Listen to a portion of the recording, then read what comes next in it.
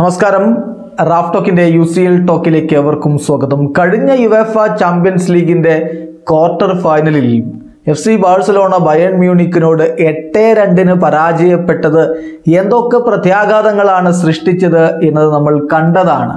പിന്നീട് ആ summer transfer വിൻഡോയുടെ സമയത്ത് ലയണൽ മെസ്സി ക്ലബ്ബ് വിട്ട് പോകാൻ വേണ്ടി ശ്രമിച്ചതും അതുമായി ബന്ധപ്പെട്ടിട്ടുണ്ടായിട്ടുള്ള കോലാഹലങ്ങളുമൊക്കെ ബറോഫാക്സും മറ്റു കാര്യങ്ങളുമൊക്കെ ഇപ്പോഴും ഓരോ ഫുട്ബോൾ പ്രേമിയുടെയും മനസ്സിലുണ്ടാകും. ഇപ്പോൾ എട്ടിന്റെ പകുതിയാണ് പി എസ് ജി ബാഴ്സലോണക്ക് കൊടുത്തിരിക്കുന്നത്. അതും ബാഴ്സലോണയുടെ മൈതാനമായ ക്യാംനോവിൽ വെച്ചിട്ട്.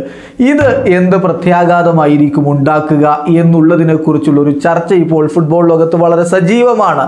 ഇന്നലെ മത്സരശേഷം നടന്ന പോസ്റ്റ് മാച്ച് ഷോകളിൽ എല്ലാ ബ്രോഡ്കാസ്റ്റേഴ്സും ഇത്തരത്തിലുള്ള ചോദ്യങ്ങൾ ഉന്നയിക്കുന്നതും നമ്മൾ കണ്ടതാണ്. സ്വാഭാവികമാണ്.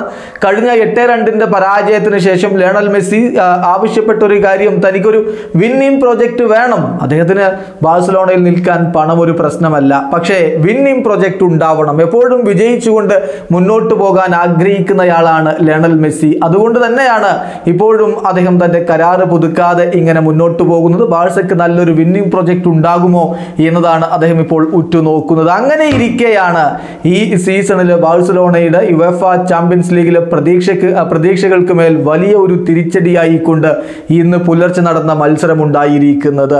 കിലിയൻ അമ്പപ്പെ എന്ന ഫ്രഞ്ച് സൂപ്പർ താരത്തിന്റെ മികവിൽ നാല് ഒന്നിനാണ് പി എസ് ജി ബാഴ്സലോണയെ ബാഴ്സയുടെ മൈതാനമായ ക്യാംനോവിലിട്ട് പരാജയപ്പെടുത്തിയത്. അതുകൊണ്ട് തന്നെ ബാഴ്സയുടെ പ്രൊജക്റ്റിന്റെ കാര്യത്തിൽ വിന്നിംഗ് പ്രൊജക്റ്റിന്റെ കാര്യത്തിൽ ഇപ്പോൾ വലിയ സംശയങ്ങളുണ്ട്.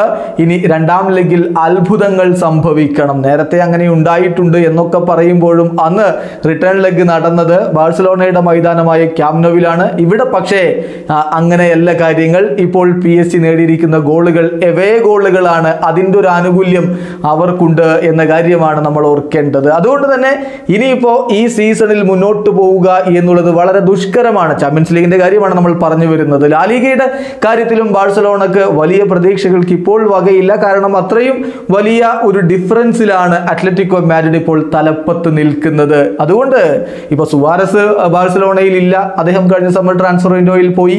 അതിനൊക്കെ കാരണമായ എട്ട് രണ്ടായിരുന്നു നമുക്കറിയാവുന്നതാണ്. പിന്നീട് സാമ്പത്തികമായ പ്രശ്നങ്ങളും ഉണ്ട്.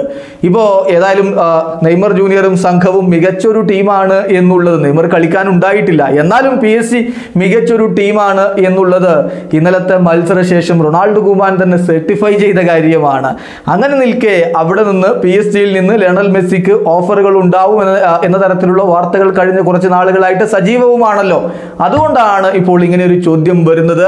അടുത്ത സമ്മർ ട്രാൻസ്ഫർ വിൻഡോയിൽ ലയണൽ മെസ്സി എങ്ങോട്ട് നീങ്ങും? ഈ നാല് ഒന്ന് എന്നുള്ള ഈ ഒരു തോൽവി ബാഴ്സലോണയുടെ യു സി എല്ലിലെ മുന്നോട്ടുള്ള പോക്കിന് തിരിച്ചടിയാകുമ്പോൾ ഇവിടുത്തെ വിന്നിംഗ് പ്രൊജക്റ്റിൽ ലയണൽ മെസ്സിക്ക് സംശയങ്ങൾ ഉണ്ടാകുമ്പോൾ അദ്ദേഹം അടുത്ത സമ്മർ ട്രാൻസ്ഫർ വിൻഡോയിൽ ക്ലബ്ബ് വിടുമോ? നേരത്തെ നമ്മൾ പറഞ്ഞ പോലെ എട്ടേ രണ്ട് ഉണ്ടാക്കിയ പ്രത്യാഘാതം പോലെ ഈ നാല് ഒന്നും വലിയൊരു പ്രത്യാഘാതം ഉണ്ടാക്കുമോ എന്നതാണ് ഇപ്പോൾ ഫുട്ബോൾ ലോകം ചർച്ച ചെയ്യുന്നതും ഉറ്റുനോക്കുന്നതും. വീഡിയോ അവസാനിക്കുന്നു. ഫുട്ബോൾ ലോകത്തെ കൂടുതൽ വിശേഷങ്ങൾ പങ്കുവെച്ചുകൊണ്ട് റാഫ്റ്റോക്സ് വീണ്ടും എത്താം.